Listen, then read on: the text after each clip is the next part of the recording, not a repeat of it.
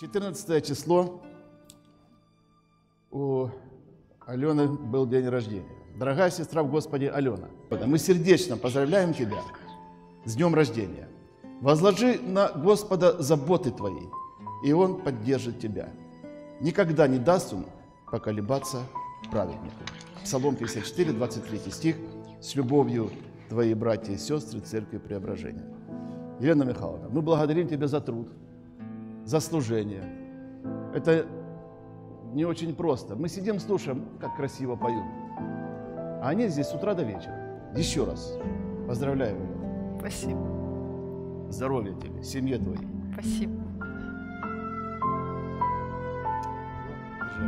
Пусть Господь благословит. С днем рождения, милая мама, поздравляю всем сердцем любя. Время мчится незримо, упрямо, но оно не меняет тебя.